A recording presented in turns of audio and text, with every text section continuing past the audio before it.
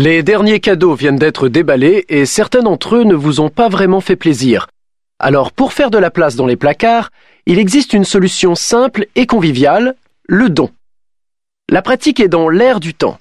Les sites de revente et les sites de dons d'objets remportent un très grand succès. Plutôt que de jeter, il est possible de se débarrasser des objets inutiles en quelques clics et de faire des heureux. Consoblog.com est le portail de la consommation alternative.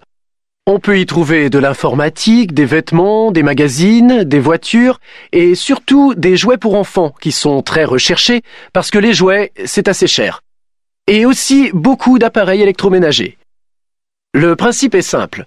Lorsque vous n'utilisez plus quelque chose, vous passez une petite annonce et la personne que ça intéresse va vous contacter par courriel ou par téléphone. Elle passera chez vous pour récupérer l'objet. On donne parce qu'on se dit que parfois pour récupérer quelques euros, ça ne vaut pas la peine de perdre du temps à mettre un objet en vente ou parce qu'on peut faire plaisir à quelqu'un. Parce que c'est très pratique et c'est rapide.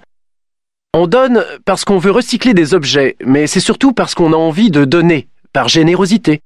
Donner, c'est vraiment dans l'air du temps. Ça fait partie de la solidarité qu'on peut voir dans la vie de tous les jours et en particulier sur Internet. Cela a beaucoup de succès, notamment auprès des jeunes. Ces sites spécialisés dans le don et la récupération permettent de s'équiper pour presque rien. La plupart sont totalement gratuits, d'autres ont un numéro de téléphone surtaxé qu'il faut appeler pour obtenir les coordonnées du donneur.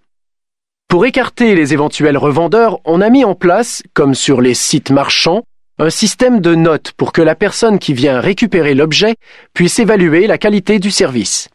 À partir de maintenant, vous pouvez respecter la règle des trois R.